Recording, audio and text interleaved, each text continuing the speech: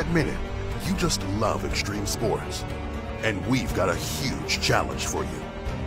This is Mount Everest, one of the most extreme places on Earth. If you set out to conquer the highest mountain in the world, you'll face deadly physical and mental challenges. Scaling Mount Everest is no easy feat. At least 295 people have died on Mount Everest, and we don't want you to be next. Here's how to survive Mount Everest.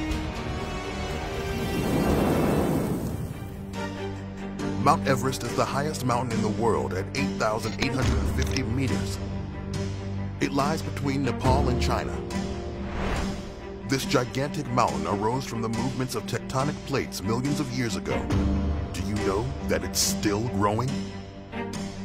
Above 8 kilometers, close to the summit, lies the death zone.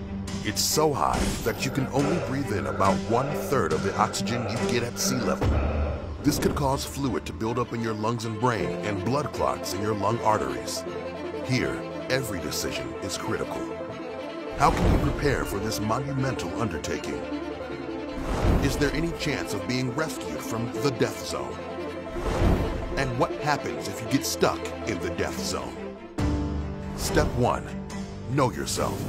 I don't mean your height, age, and weight. I mean, what would you do in a life-threatening situation? Can you stay calm, think clearly, and follow directions? When you're hanging onto the side of a mountain in a storm, staying calm can help you and your teammates to survive. There's no I in team, and it couldn't be any more apparent than on Everest. Nobody climbs to the summit alone, so it's always a team effort and everyone relies on each other. When you and your team are on the mountainside, you could all be attached to the same rope. What would happen if someone hasn't attached the rope securely enough? So remember, teamwork is essential for making the summit. Step 2. Prepare.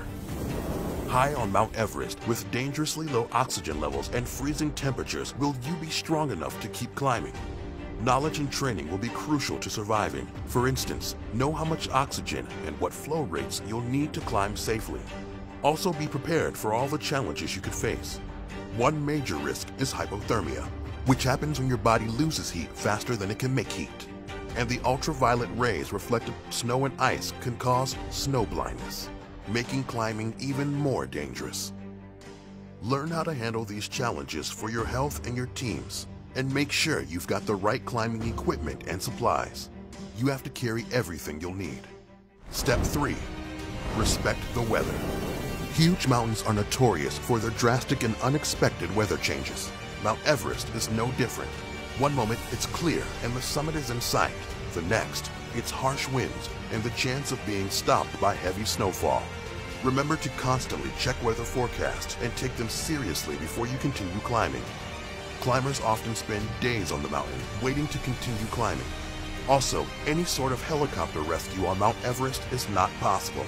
Although helicopters can reach that altitude, weather conditions make it impossible to attempt. Step 4. Trust your Sherpa. Sherpas are famous for their ability to climb Mount Everest. Sherpas are native to the Himalayan region, descended from Tibetan heritage. They are the real experts and heroes of Mount Everest. Without their help, reaching the summit is almost impossible. So it is important to trust and learn from them. They have years of knowledge and experience, and they know the mountain better than anyone, including how to cope with avalanches and ice falls. The record-breaking mountain guide Kami Rita has climbed Mount Everest more than 20 times. He can tell if a climber will be able to summit the mountain or not. Step 5. Know the ropes.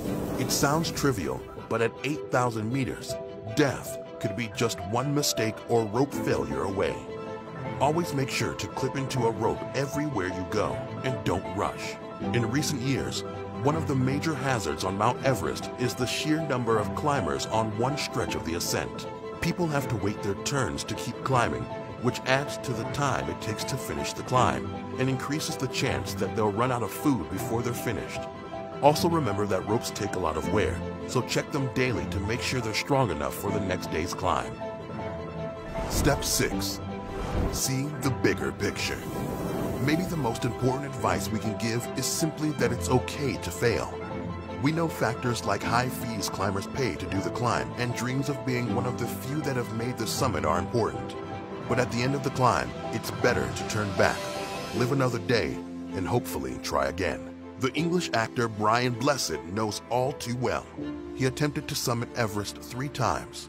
On his last attempt, Brian was only a few meters from the summit when he chose to sacrifice his chances to help rescue a fellow climber.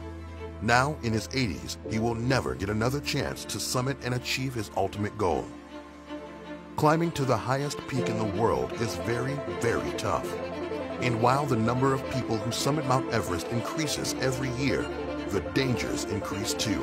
In 2019, there were long queues in the death zone, and 11 people died in just one week as they waited to continue the climb.